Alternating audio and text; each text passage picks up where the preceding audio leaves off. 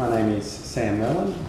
I'm uh, doing a PhD in developmental neurobiology. In the finishing stages now, just writing up my thesis. I was never a great student and didn't have great marks, um, so I spent most of my time getting to know the supervisors of the um, various topics that I liked, that I enjoyed. It worked because despite being an average sort of student, I still got into honours.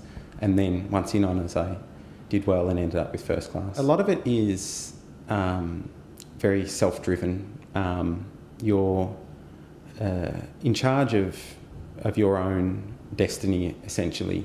The harder you work, the more you'll get out of it.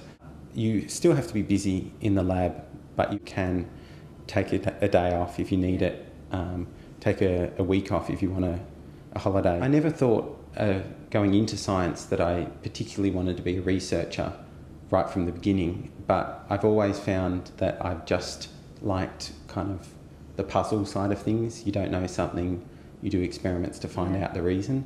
I enjoy that sort of discovery of, of new things. I identify my own um, mysteries and try to find them out myself. So early on, you need a little bit of guidance, but yeah, you very quickly get into it and start thinking for yourself and really asking yourself questions about um, about the problems that you're facing and fixing them and uh, and discovering exactly what's going on in your model. Yeah, that's that's what drives me. I thought about it during my uh, undergraduate when I was doing a lot of anatomy.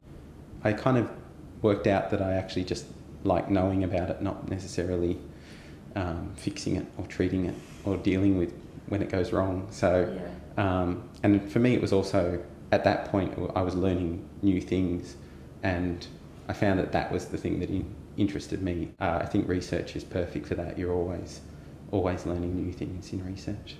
In doing my PhD in this building, um, I've met a lot of people that kind of make me really want to do research as a as a career. There's a lot of young researchers that uh, you know have interesting personalities and are funny and uh, enjoy a laugh, and it seems to be the uh, the sort of career path where you can still be serious when you need to be, but everyone can have a joke around. I the way I did my um, undergraduate and worked into postgraduate was to at the time focus on things that I liked doing and see where that would take me. I know a lot of friends of mine chose their uh, undergraduate degree based on where they wanted to end up, and um, I know a lot of them who have had to change midway. My advice would just be to um, not so much think of uh, choosing your career based on the end path. I went into it um, hoping to find out what I wanted to do and I think that that definitely helps you end up in a career where where hopefully you'll be happy doing the work for the rest of your career.